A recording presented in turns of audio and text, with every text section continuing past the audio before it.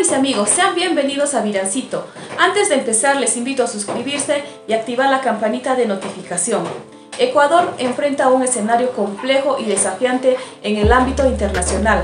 Esto tras las graves violaciones cometidas contra México, con la reciente decisión del gobierno de Ecuador, liderado por Daniel Novoa Asín, la decisión del presidente de Ecuador ha desencadenado una crisis diplomática de proporciones internacionales.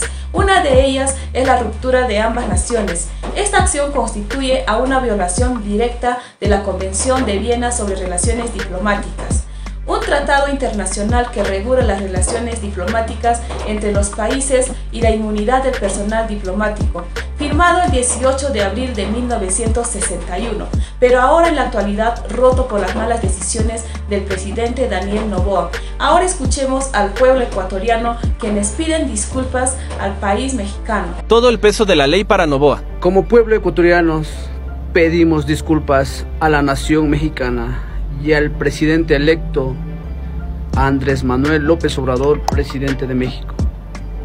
Por nuestro presidente ecuatoriano, que es, no es mi presidente, pero sí del 40% de los ecuatorianos reconocido como presidente de ellos, pedimos disculpas, ya que somos del pueblo indígena y nos sentimos avergonzados por la decisión y cómo actuó violando los derechos de una nación.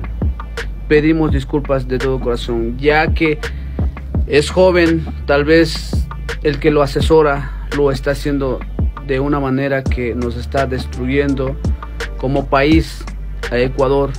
Ya no sabemos qué hacer. Había prometido tres cosas en su gobierno y ha violado en menos de seis meses.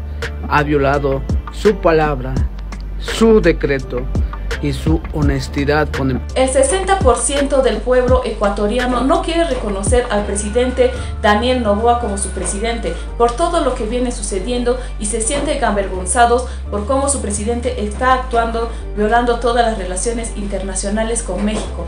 La población ecuatoriana dicen que el presidente Daniel Novoa los está destruyendo como país a Ecuador que ya no saben qué hacer y que en menos de seis meses ha violado su palabra, su decreto y su honestidad con el país ecuatoriano.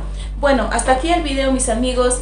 ¿Qué sucederá con el país ecuatoriano? ¿Qué piensan ustedes de lo que viene sucediendo con Ecuador? Dejen sus comentarios y suscríbanse a Viralcito y hasta la próxima edición.